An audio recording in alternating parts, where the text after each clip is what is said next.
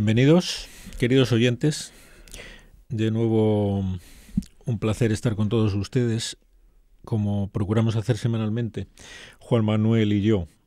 Eh, Juan Manuel, ¿qué Sí. tal te encuentras? ¿Dispuesto a, Perfectamente, dispuesto a pasar un rato con, Sí, sí, muy bien. con nuestros queridos oyentes? Eh, ya saben que últimamente estamos hablando del tema de la homosexualidad con la pretensión, decíamos, para los que no hayan asistido a los programas anteriores, con la pretensión de defender una verdad sobre el hombre muy importante que es necesario sacar a la palestra en, la época actual precisamente porque se está difundiendo muchos errores al respecto y están, y están pudiendo ocasionar y ocasionando, podríamos decir con seguridad, mucho daño, mucho daño a algunas personas. Y esto mm, es algo que nos tiene que doler a todos y procurar, en la medida de lo posible, subsanarlo, evitarlo, corregirlo, en la medida de nuestras posibilidades.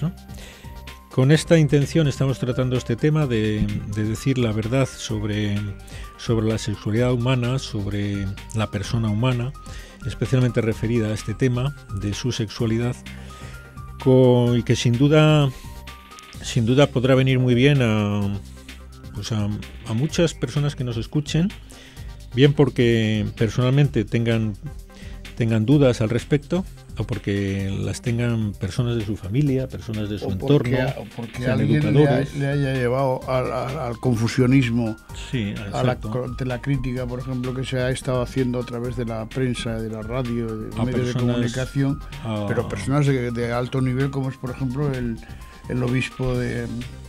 Monseñor Regpla, ¿no? Que Regma, lo hemos hablado últimamente, efectivamente. Yo ayer leía casualmente en la prensa, en la prensa una noticia, pues realmente una noticia penosa, ¿no? Una noticia penosa, pero como tantas veces se, se lee a diario en la prensa. Te pones a leer la prensa y salía la noticia de un entrenador de un equipo de karate en Canarias, pues que estaba denunciado o condenado, de ahora mismo ya no recuerdo en qué fase del proceso estaba, Están- Creo que estaba en condenado. juicio, está, está ya, mm, eh, no condenado, sino está en el juicio, en, El en juicio, pleno bueno. juicio. Pues entonces es una acusación formal. Pero llevada con- a los con una tribunales. acusación que le piden 200 años de cárcel, ¿no? Sí, porque al parecer es un problema de abuso sexual a menores durante años, ¿no? Aprovechándose de su condición de entrenador personal de un equipo de karate, de un gimnasio allí en Canarias, etcétera. Y me llamó la atención especialmente mm, unas declaraciones del propio acusado Mm. que decía, bueno, pues yo esto lo consideraba mm, una forma de vida. Sí. Y yo me quedé a cuadros leyendo aquello y, y dije, cielos. Bueno, tampoco me puedo extrañar mucho, me dije a mí mismo cuando leí aquello, porque aquí hemos estado insistiendo en programas anteriores en la importancia de que tengamos todos unos fundamentos éticos importantes en nuestra vida, porque si no puede llegar un momento cuando no tengamos una formación ética que nos haga conocer la naturaleza humana y las exigencias que conlleva este conocimiento de la realidad del hombre y de su sexualidad y de sus mm, obligaciones respecto a sí mismo y a los demás, todo eso que nos aporta la ética y que eh, tanto nos ayuda a la religión a conocer y a vivir, pues cuando una sociedad prescinde de esto, no se puede extrañar que haya personas aparentemente muy honorables, muy normales, como es este, que incluso tenía cargos hasta políticos, si no recuerdo sí, mal. sí. He podido leer en la prensa que tenía cargos políticos allí en su ambiente y era consejero de, de deportes en no sé qué organismos oficiales. Pues que hiciera esta barbaridad de estar eh, abusando mm, sexualmente de eh, menores y incitando, incitándoles a que tuviesen entre ellos también relaciones sexuales, es decir, una serie de cosas realmente Sí, muy desagradables. como una actividad más de la, de, Sí. de la propia enseñanza que él impartía, ¿no? Lo metía, decía que aquello era una familia, Tremendo. que era una forma de Sí, sí. conocerse, de relacionarse, una serie de bueno, aberraciones. es el tremendo, el tremendo error de este Bueno, hombre, ¿no? El tremendo error de este hombre, pero claro, es que no nos podemos quedar en la anécdota. Esto es una manifestación, una Sí, sí. manifestación de la desorientación ética de una sociedad que ha perdido eh, los fundamentos y además que se mofa, ataca y, desprecia aquellas voces que intentan sacarla de ese estado lamentable de ignorancia, como es este caso de que nos mencionabas tú, Juan Manuel, y que hemos mencionado en programas anteriores, de Monseñor Regpla, que como pastor de la Iglesia y como autoridad moral tiene esa obligación y ese derecho, además, decíamos y recordábamos a todos nuestros oyentes, ese derecho a expresar su opinión sobre eh, el tema, ¿no? Y después de, de, ser, de estar en lo cierto, porque su, su crítica o su, su exposición es desde el punto de vista de, de, de la verdad de la Además Iglesia. que está, ¿no? está exponiendo la doctrina de la Iglesia, Exacto, que como decimos es la obligación de cualquier Entonces, pastor de la Iglesia. es cuando alguien se mete por medio criticando esa, esa actitud de Por eso que puede obispo, ¿no? que nadie que nadie en una sociedad que presume de respetar la libertad de expresión como es la nuestra y que deberíamos Sí, sí. todos cuidar de que esta, este derecho se respetara en todos, de que cada cual pudiese expresar sus opiniones sobre cualquier tema, pues cuando una persona lo hace se le ataque simplemente porque haya grupos a los que no le gusta esa opinión, pero se le insulta además sin pues es lamentable, sí. Se ninguna le insulta. Bien. consideración, ¿no? Bueno, pues yo en ese contexto leía esta noticia de ayer, como decía, y nos puede servir a todos para darnos cuenta de a dónde puede llegar, a dónde puede llegar esta, esta situación actual, la falta de formación que está tan extendida. ¿Cuántos y cuántos y cuántos eh, jóvenes, niños, adolescentes, eh, algunos ya adultos, algunos ya mm, eh, padres de familia, Mm.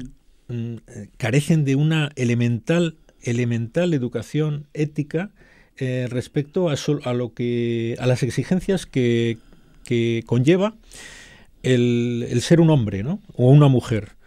¿Qué exigencias conlleva? Porque eso no es una no es Sí, una sí, casualidad, no es algo es algo anecdótico que, que no que no podemos utilizar a, a capricho mm, ni nuestro organismo ni podemos actuar a capricho como nos venga en gana, sino que, ten- que estamos todos sometidos a unas leyes, tanto desde el punto de vista biológico, el que no, el que quiera llegar a, a mayor, pues no puede dedicarse a, a envenenarse diariamente con cianuro, porque lo más probable es que no llegue al día siguiente siquiera, no ya a mayor. Pues esto es una ley del organismo, una ley biológica que cualquiera con sentido común respeta.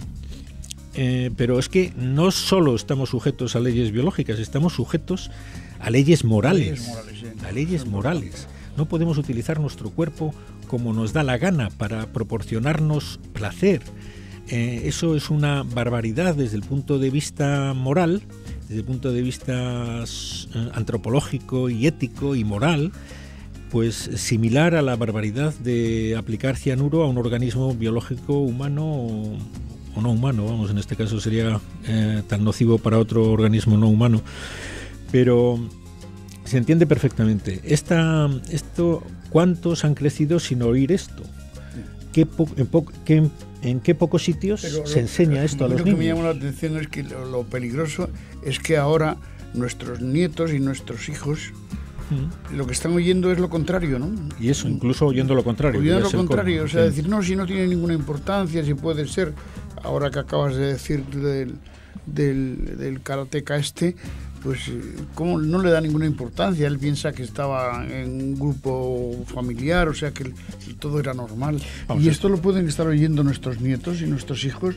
Bueno, decir, pero, bueno, pero es que no pero tiene claro, ninguna importancia. lo ¿no? están oyendo nuestros nietos. Y esto es la punta del iceberg. Sí. Es decir, que esto que ha salido a la luz ahí en Canarias y que se lleva a los tribunales un auténtico monstruo, porque es un monstruo, que capaz de hacer tanto daño con ese desparpajo, pues eh, nos damos cuenta de que no podemos considerarlo la, una excepción. Sí, sí. Porque, como digo, cuando sale a la luz un caso de estos, debajo hay muchísimos casos que no salen a la luz dicen que es, es de, de los más de ese mismo estilo, ¿no? de los más- del mismo estilo, pero este de que quizá el más llamativo Más de los que están de los- ocurriendo. de los que en- conocemos. De los que se conocen, exacto. Yo lo que insisto es que hay muchísimos casos de este tipo que no se conocen. Porque mm, llegar a, llegar a suceder así en una persona teóricamente culta, teóricamente formada, teóricamente responsable. Entonces, claro, mm, ¿cuántos de nuestros oyentes están diciendo, vamos a ver, si yo tengo a mis hijos en manos de personas cultas, formadas y responsables. Y yo diría, perdone, pero no se fíe.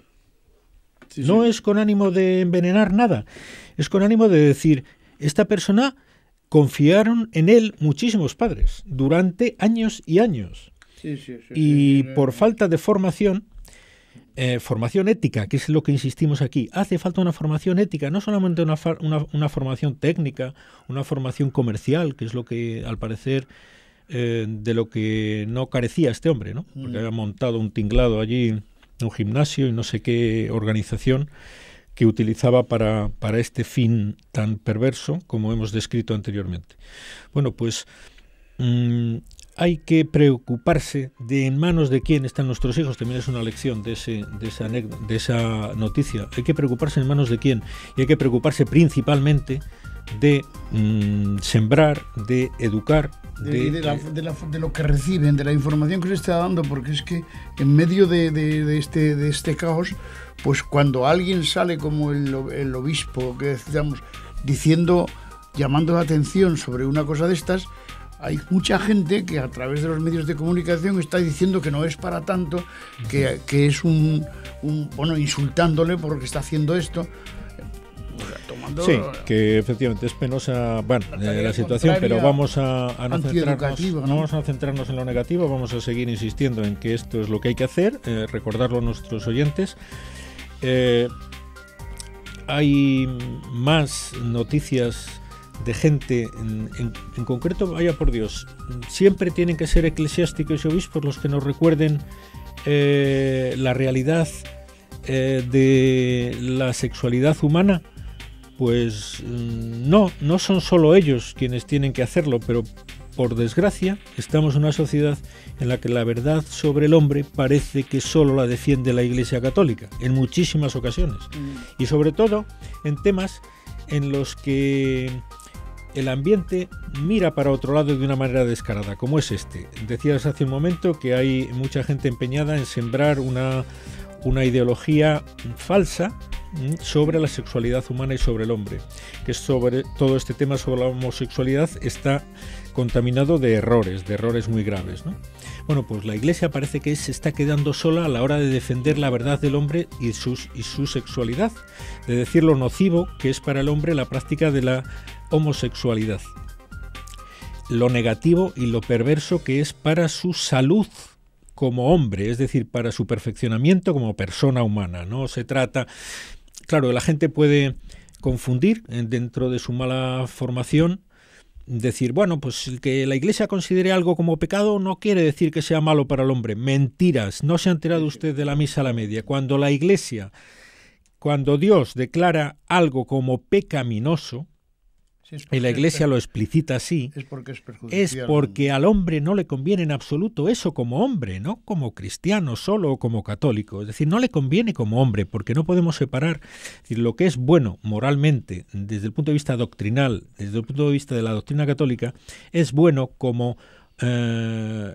hombre en, en general, eh, visto desde el punto de vista global, es decir, no solamente desde el punto de vista religioso. Esto es algo que no nos cansaremos de repetir porque ha llevado a, mucha gente al error, ¿no? Es decir, bueno, eso es cosa de la Iglesia. Mira, no, la Iglesia defiende lo que es bueno para todos. No puede que usted decir que es mm, cosa de la Iglesia la defensa de la vida humana, aunque se esté quedando solo la Iglesia defendiéndola. No puede usted decir que es cosa de la Iglesia el decir que la homosexualidad es un grave error. La práctica de la homosexualidad es un grave error, aunque solo sea la Iglesia la que actualmente se atreva a decirlo, que no es cierto, porque estamos aquí repasando estos días un, documento de médicos católicos de Estados Unidos que nos lo que nos lo defienden y nos lo explicitan con claridad. Pero bueno, efectivamente, eh, ¿quiénes están saliendo a la palestra últimamente defendiendo esto? Pues los obispos. Hace unos años un psiquiatra que es conocido nuestro, Aquilino Polaino, aquí en España, también tuvo la honradez, la honradez no sé si te acuerdas de, aquella situación que ocurrió algo comparecido como lo que está ocurriendo con el, con el obispo de, con este obispo O sea, que ocurrió lo mismo, que la gente se escandalizaba, ¿no?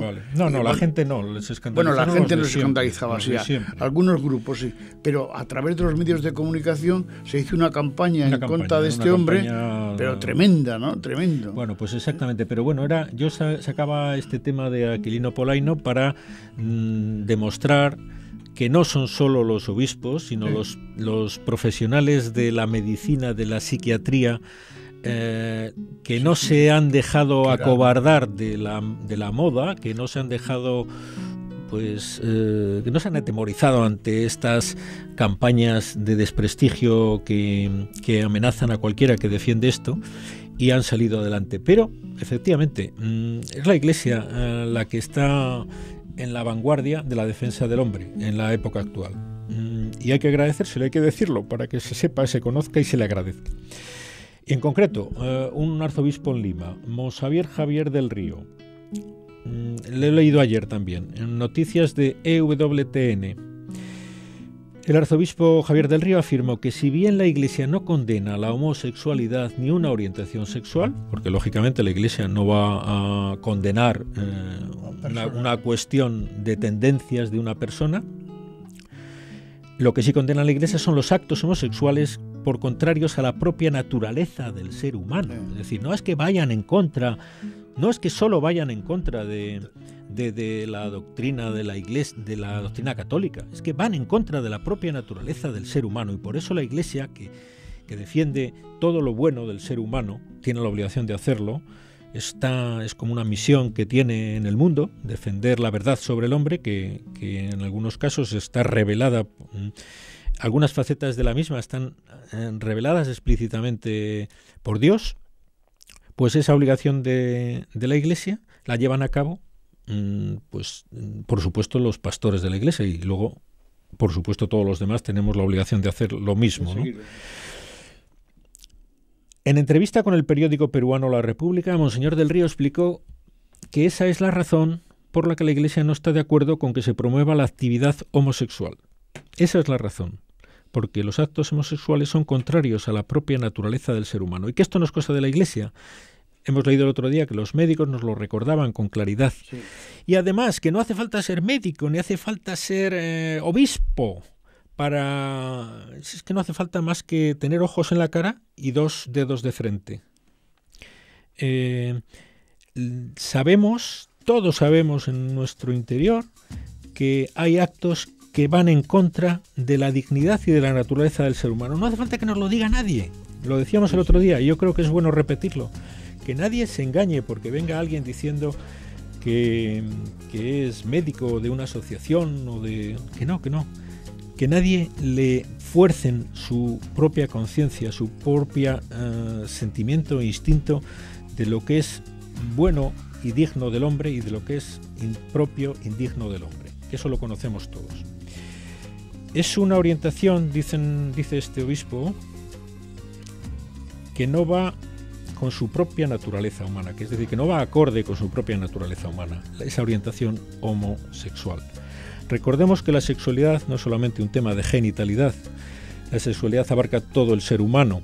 El ser humano es todo varón y todo mujer. Bueno, esto es otra gran verdad que parece obvia, pero que es necesario recalcar y remachar la verdad sobre la condición sexuada del hombre. Nadie nace, nadie nace sin sexo. Mm, cualquier persona ya en el momento de la concepción nace con el sexo masculino o femenino.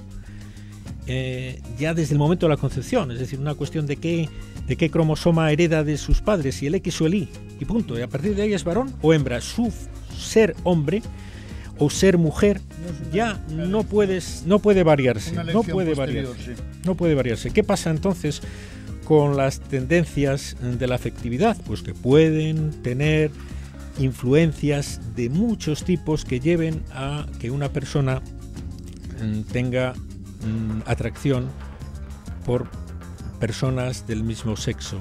Y esta atracción por personas del mismo sexo desde el punto de vista médico recuerdan los textos que estamos comentando en este programa, desde el punto de vista médico, para el que quiera son perfectamente corregibles. Hay muchos casos, muchos casos, testimonios concretos que hoy no nos va a dar tiempo a, a decirlo, estudios concretos publicados en revistas científicas que muestran casos muchos casos de personas con esta tendencia que la han conseguido uh, corregir y enfocar para actuar de acuerdo con su naturaleza de varón o hembra, genéticamente determinada y en algunos casos trastocada por miles de factores que es muy difícil concretar porque cada persona es una persona distinta a la que tiene al lado, no se puede englobar a nadie, es decir, esta persona tiene esta peculiaridad, vamos a ver por qué. Y el psiquiatra en concreto, será capaz de detectar en algunos casos qué factores, qué situaciones, qué vivencias han llevado a una persona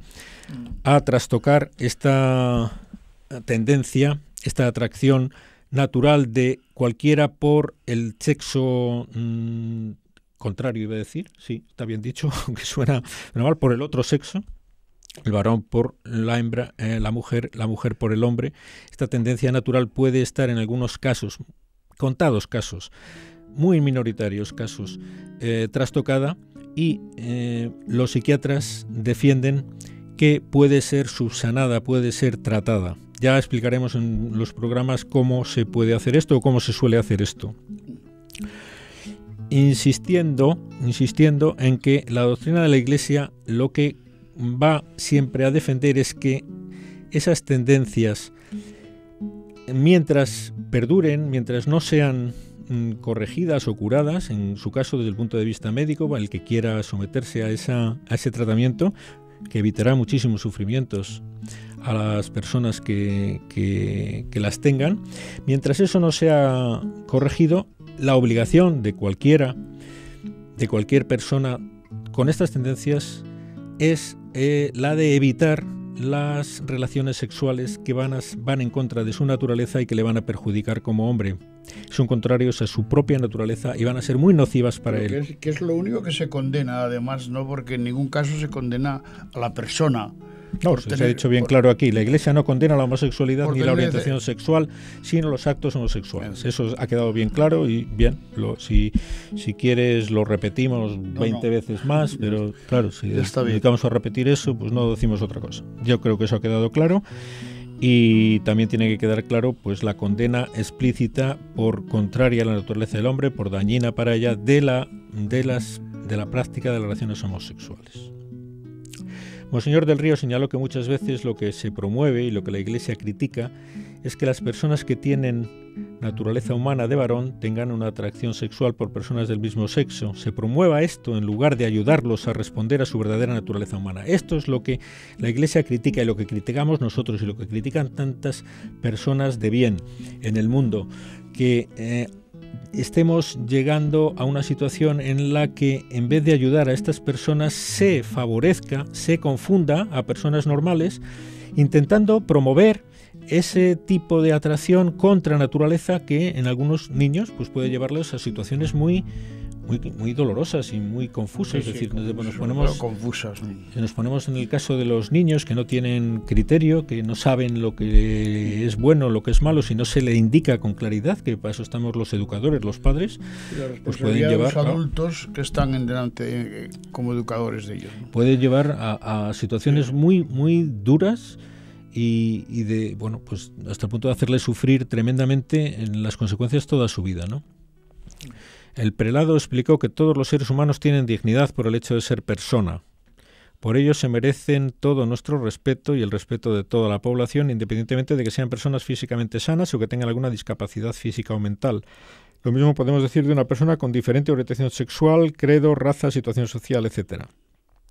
El arzobispo de Arequipa subrayó en su entrevista que la Asociación de Psicólogos Católicos de Italia ha señalado que cuando el cambio de orientación sexual no tiene una raíz orgánica es factible retornar.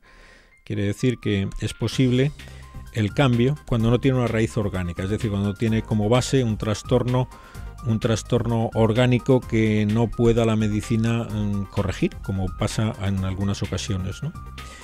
Pero excepto cuando eh, en estos casos que son pues um, casos para estudio médico, cuando son trastornos eh, consecuencia de, como hemos dicho antes, de situaciones, de, de traumas de diverso tipo.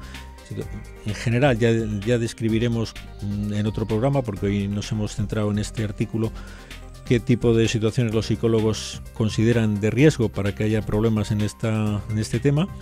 Pues excepto ahí, eh, los psicólogos italianos que menciona aquí el arzobispo, pues también defienden que es perfectamente reordenable esa, ese, esa desviación de la atracción natural. Lo que niegan lo que niegan?